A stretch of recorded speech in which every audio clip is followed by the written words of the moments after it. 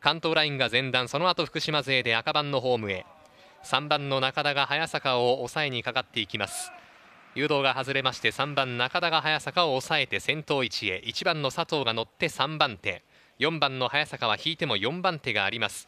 3番の中田がペースを掴んでいきまして打賞の周回バックストレッチへと出ました。3番の中田が掴んだペースで4番の早坂が4番手。マーク陣埼玉勢です。3番の中田後ろの早坂を見ながら徐々にペースを上げていきますが今日も同じタイミングで仕掛けます4番の早坂マーク陣2番の白岩が続いて5番の伊藤明遅れました。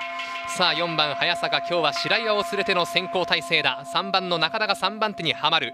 先頭は4番の早坂後ろにはぴったりとマーク取る2番白岩大輔。3番手中段位置から3番の中田裕樹3番手からのまくり勝負になっています。あとは後ろ2人ちぎれていますが先頭4番の早坂踏み直して直線に向きます。追走2番の白岩と直線勝負。3番の中田裕樹前迫るが早坂逃げ切って降臨。2着2番の白岩大輔。